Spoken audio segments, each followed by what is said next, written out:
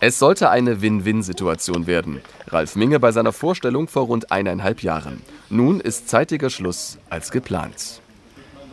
Das ist einfach ein Punkt in der Perspektive, die sieht er so nicht in, in diesem Verein. Äh, wir haben uns offen ausgesprochen über die Monate mit dem Ergebnis, was jetzt vorliegt, dass er Ende März ausscheidet.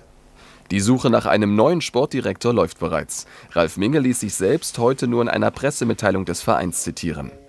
Auch wenn die gemeinsamen Erwartungen in den vergangenen eineinhalb Jahren nicht in allen Bereichen in Erfüllung gegangen sind, wie er hofft, so war es doch eine sehr spannende Zeit.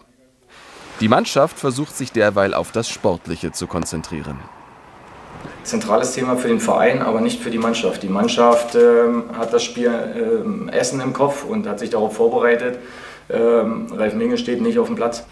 Wie sich der HFC in Essen schlägt, sehen Sie am Samstag ab 14 Uhr bei Sport im Osten.